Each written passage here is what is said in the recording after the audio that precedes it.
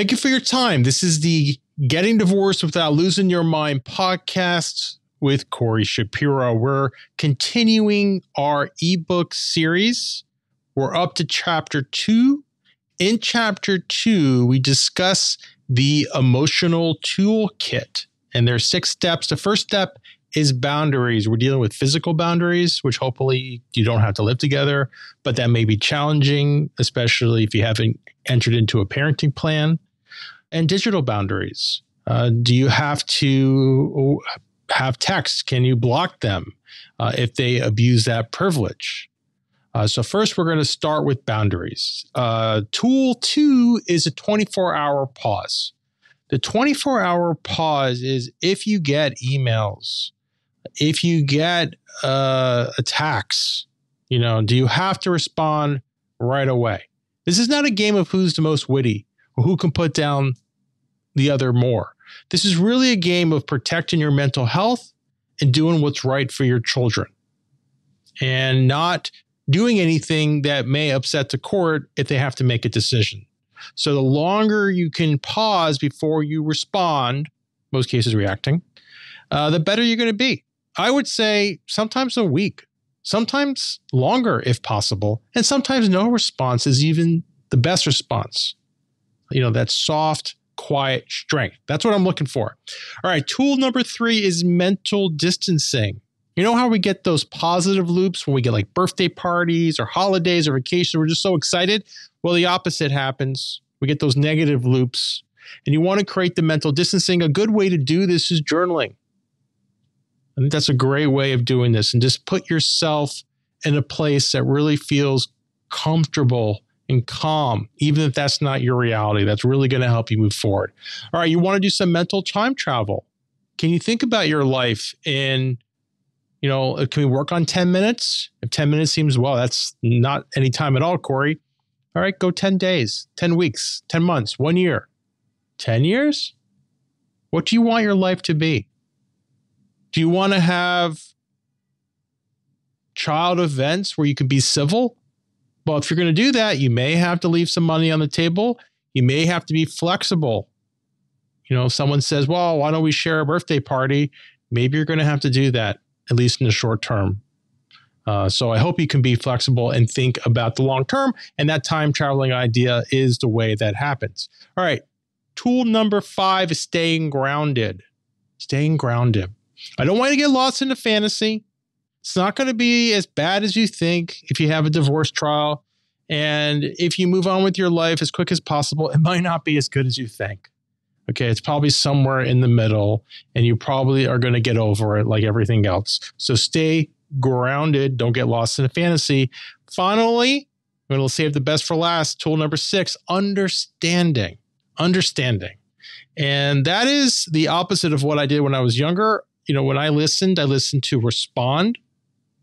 But really, what you want to do is listen to understand. How do you do that? Well, you're trying to empathize. It's not to agree, it's just where are they coming from? So, what most people do when they start this process is they label, label negatively, not necessarily even accurately, just subjectively, like they're narcissists, they're jerks. Now, they may be insensitive, they may be self absorbed, those may be true. But put them, put yourself in their position. Why are they being so self-absorbed? Why are they doing that? Why are they being so uh, controlling? Are they scared? You know, what fears are they having? And is that what they're acting? Is that like a maladaptive trait? That's what maybe they don't have any other tools.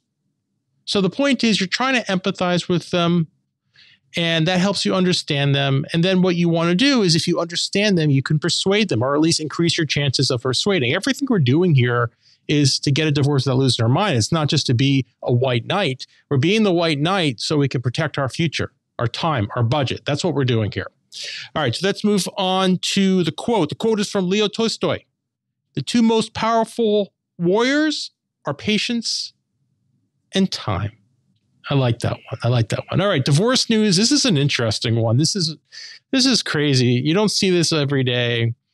There's this uh, judge, divorce judge down in Florida, and uh, he really gave it to this woman who came after an advisor to President Trump who had a sexual relationship with this woman. They had a kid before the kid was born. They're already in court. And they've been fighting left and right, cats and dogs. I don't know. It seems like the, the mother, but I'm not 100% sure. All I know is, and, and here's what happens she basically claimed that you need all this money for attorney fees. And the law in most states are the money spouse pays. And well, this is not the money spouse, but the money party pays, right? To level the playing field, to level the playing field. That's what they're going to say. But the reality is, you also have to look at the merits of the positions. You have to look at what they did during the litigation. Are they delaying things? Are they causing problems? They're doing all these things then maybe the court will cut things back, cut things back, and maybe there's going to be a chance. And that's what happened here. Of the attorney fees requested, the court cut back. You, you're thinking 30%? No, 30% that's normal. 40% normal. 50% happens all the time. 95% of what they asked was cut down. I will have this case in the show notes to show you what a good judge, great judge, and a witty judge can do to someone who's really abusing the system. A lot of these laws that protected these non money parties were designed as a shield, but they're being used unscrupulously in so many cases as a sword. And good for this judge to stand up to this person who's abusing the system and abusing this man. All right. Question We've entered into an agreement, but some of the terms my attorney tells me the court may not enforce. I'm concerned. They talked about this non severability clause. Can you explain that? Okay, so let's back up here so everyone understands what's going on. Uh, it's a good question, by the way, and it doesn't happen. Doesn't happen all the time. The default is you enter into an agreement if you can settle your divorce, and hopefully you can, 95% of the people do. And in that agreement, you have a clause called severability. Remember, that agreement's it's pursuant to contract law. So what that means, severability, is one provision of the agreement the court doesn't enforce. And the court cannot enforce, you know, if you go back, court does what they want to do. The, the you know, based on the law, but hopefully everything worked well. But the judge has discretion. And if you go back to court, they don't enforce something, they can just uphold other parts of the agreement. So they, they sever it out, like they cut out that one provision that wasn't uh, appropriate, wasn't something the court wanted to enforce, and everything else holds. The problem in a divorce case, and I think this is probably in other cases as well, but especially in divorce, is so many provisions are intertwined. They're intertwined. And you know, you're not going to give one thing for the other. If you knew the whole thing, one thing was going to fail, there might be prejudice. There might be a windfall. So what you want is something called a non-severable clause. Non-severability. That's not the default, but that's something that should happen. And this question talks about that. So if you have all these intertwined provisions, you're concerned the court might not enforce it because you're being very creative, right? And that's okay you want to talk to your lawyer about it, then if one provision is not enforced, the whole agreement fails. The whole agreement fails. And that might work for for you. And it's definitely something to think about. Again, got the agreement, you have a severability clause. In most cases, that can work. Just cut out that one provision. It's not really going to help us or hurt us. But if things are, everything's dependent, everything's intertwined, then you want things non severable. So if one provision is not enforced, then the agreement can't be enforced. All right, moving to announcements. If you have questions for the podcast, you can send it to question.gettingdivorce.org. You can always send us feedback at feedback at gettingdivorce.org.